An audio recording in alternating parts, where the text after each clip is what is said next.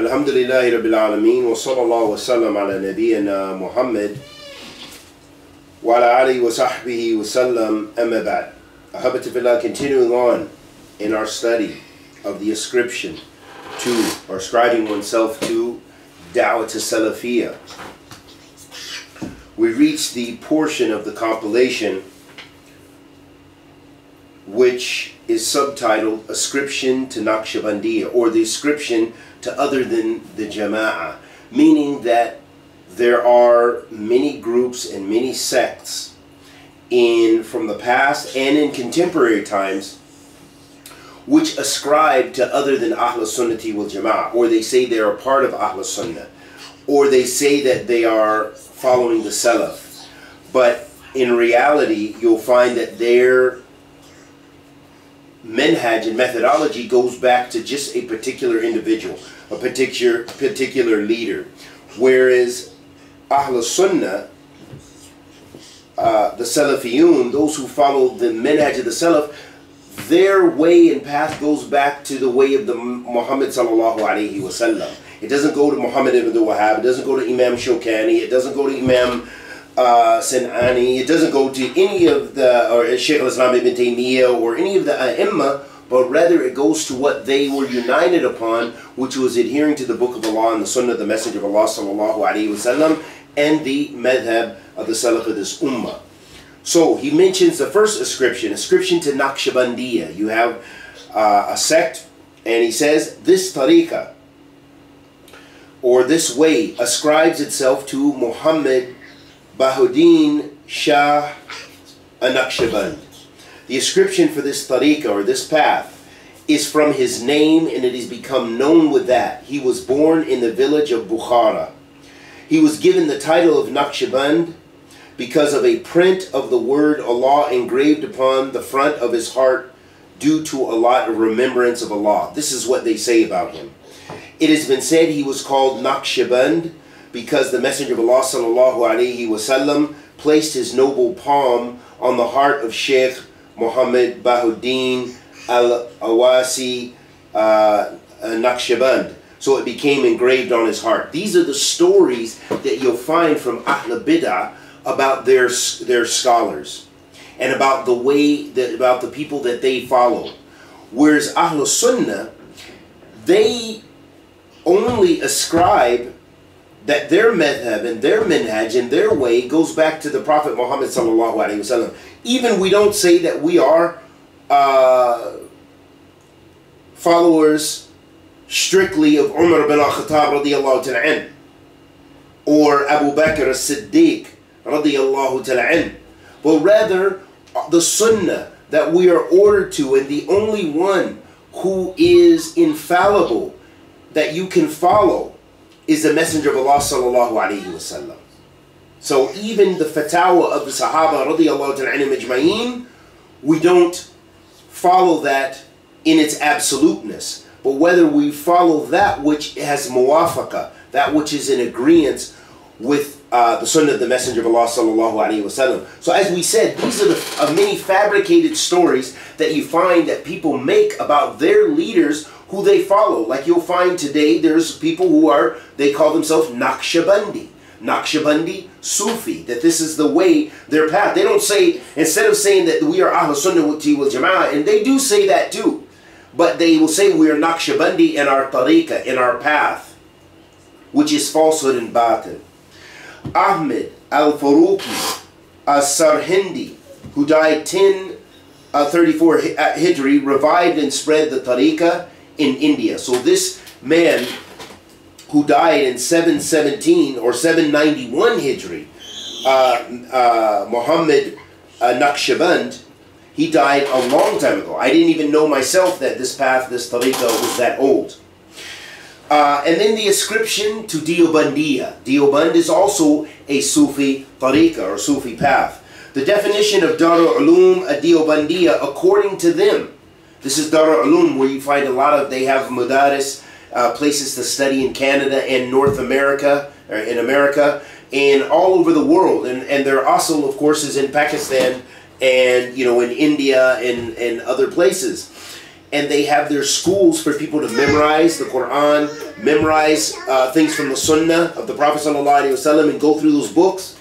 But their Aqidah goes has some issues in which it goes against the Sunnah of the Messenger of Allah sallallahu alaihi wasallam, like the Ashari uh, uh, So Dar al-Ulum is Muslim in their religion of the Ahl Sunnati wal Jama'ah sect of a Hanafi madhab. Drinking hole is Sufiya, Maturidiyya, uh, uh, Ashariya in philosophy or their uh, Aqidah. Uh, Shish, Shishtiya in methodology in their in their minhaj. Rather, it gathers all the different successions of groups. Wali ilahi ilahiya in thought, Qasamiya in principle, Rashidiya as a subdivision, Deobandiyya in ascription. So it shows you that these groups, this is from their own uh, their own source. Their own sources, they talk about how they bring together their creed and their fiqh and their whole deen methodology from different ways. Instead of just plainly simple following the sunnah of the Messenger of Allah sallallahu wasallam, they bear witness against themselves as a jama'ah. And they bear witness that they are following what the Prophet wasallam told us to avoid. And the Prophet wasallam said, "Iftarakat al-Yahuda The Jews broke into 71 sects. والنصارى على 72 فرقة و أمتي على 73 فرقة and my ummah on 73 sects okay so they are showing that sectarianism is actually as if this is something good but in fact it is something madmoom and the Prophet said كلها في النار all of them in the fire except one and those are the ones who follow the sunnah of the messenger of Allah and the madhab of the salaf Sayyid Talib al-Rahman said, a is a group from the Hanafis in the Indian subcontinent and other places. They follow the path of Deoband University, and their ascription is to this university. And that was to distinguish from their brothers, the Braylawiya, one of the sects of the Hanafis, who ascribed to a uh, to Imam of Bid'ah, Ahmed Rida Khan al-Braylawi, who was born in the city of uh, a city in the state of Uttar Pradesh in India in the year 1272 after Hijri and died in the year 1340 after Hijri. So, and then he says Deoband is a town in the state of Uttar Pradesh. It achieved its fame due to the famous Islamic university called Dar Ulum, Dar Ulum, which was founded in 1283 Hijri and this university, without doubt, is regarded as a pride and honor for that town.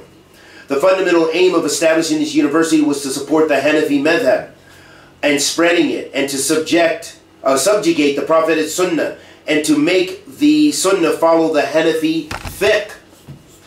And there is no exaggeration in the reality of this point since even the senior scholars of Deoband have acknowledged this. Subhanallah. So it shows that these people instead of adhering strictly to the sunnah of the Messenger of Allah sallallahu alaihi wasallam, that which is authentic from ahadith, that they say no, if it doesn't go against, if it goes against our madhab, then we discard it.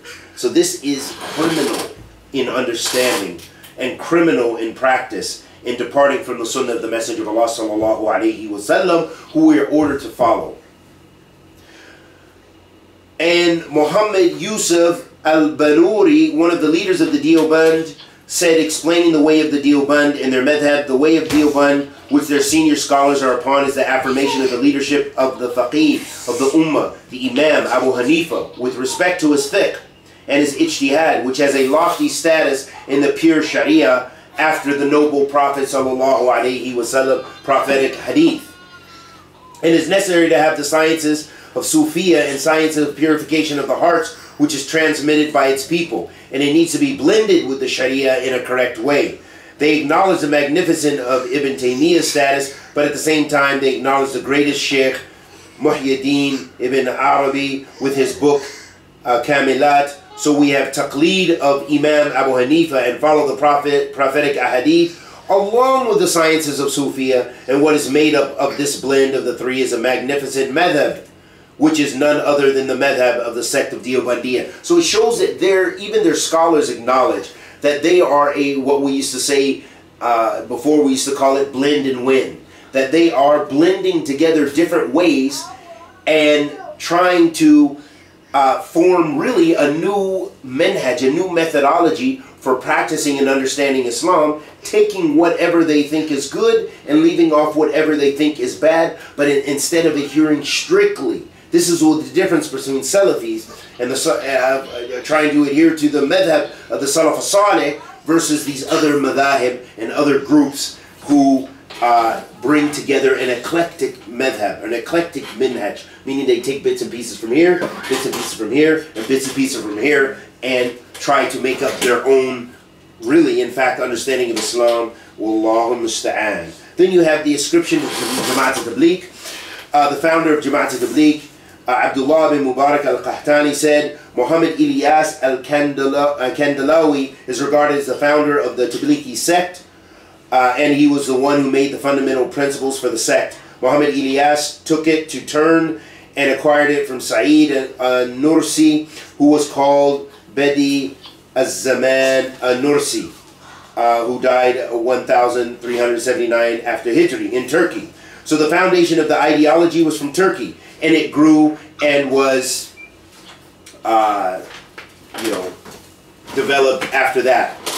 And in fact, uh, Jamaat Tabligh is just a modern day Jama'ah that uh, is built primarily on ignorance, and you will find amongst their group that they those people who have a shirky uh, madhab and shirky way of ibadah, and yet they talk about making khuruj and restoring the ummah, meaning khuruj, meaning to go out and give dawah to the Muslims. And there are many mukhalafat, but this is nor the time and the place to explore those all of those uh, issues. Uh, Sheikh Salih bin Fawzan was asked about uh, Sufism. So Sufi is another uh, general tariqah, and this is, includes the Naqshbandi, Deobandi. He said, what is the ruling of ascribing to the Sufi madhab, and do we make takfir of the Sufiya? He answered, it is not allowed to ascribe to an innovated madhab of the Sufiya or other than the Sufiya. It is not allowed for the Muslim to follow the Mubtadi'ah, whether from Sufiya or other than Sufiya, but rather he has to follow the madhab of Ahl Sunnah. It is not possible for the Muslim to follow the madhab of Ahl Sunnah except if he learns and knows the madhab of Ahl Sunnah and knows the madhahib of the Mubtadi'ah. And this is not possible except with knowledge. Uh, as for the ignorant person, it is not possible for him to keep away from the madhahib of the Mubtadi'ah because he does not know who they are. And perhaps he, he deems them as being appropriate and thinks that they are good. Therefore, ignorance is corruption and an illness. This is why we have to seek knowledge. And even knowledge to have some basic knowledge of these different groups to know what to stay away from. But first and foremost, we concentrate our efforts on learning the sunnah of the Messenger of Allah, sallallahu alayhi wa alihi wasallam. The Sufi are not all of the same grades. Uh, there are those from them who reach the level of shirk.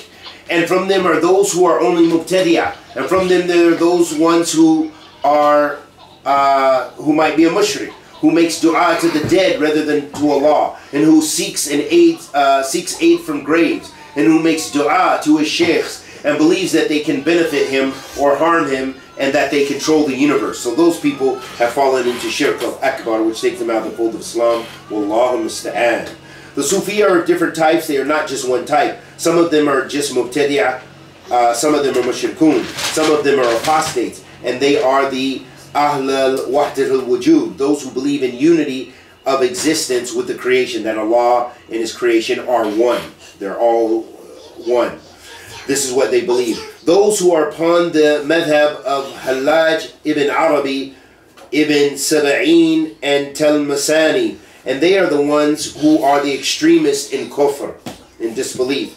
Of the people on this earth, the people of Wahdat al-Wujud, those who believe in the unity of existence, meaning Allah is one with His creation. So they will say this bookshelf is Allah, you are Allah, uh, the dog is Allah. وَعِيَاذًا بِاللَّهِ مِنْ ذَلِكَ ضَلَالٌ ضَلَالٌ مُبِينٌ وَكُفْرٌ عَظِيمٌ uh, So, these people, there are people who believe this, this, this ideology. They believe that Allah is everywhere or that Allah is one with His creation, and all of this is falsehood and batil. And these are some of the most extreme types of Sufia. Those are just some of the main points, and I think we will end the treatise with that because we uh, the the compilation as we covered the bulk of what the brother compiled the rest was just some statements about the Sufiya. And so it is important for us to know and understand what it means to be from Ahl Sunnati wal Jama'ah and that the only way we can ascribe to Ahl Sunnati wal Jama'ah or ascribe to Salafiyah is through ilm, through ilm, through knowledge, through Islamic knowledge, sound Islamic knowledge, which is based on the Book of Allah, the Sunnah the Messenger of Allah sallallahu wasallam, with the understanding of the madhab of the Salaf, and that is taken talaqi al-ilm ala ahlihi, and that is taken from the scholars. And this is why it's I advise myself and my brothers and sisters in Islam to atlub al-ilm, seek knowledge and benefit from what you can from the scholars, especially the major scholars that are still living. وصلى الله وسلم على نبينا محمد وعلى آله وصحبه وسلم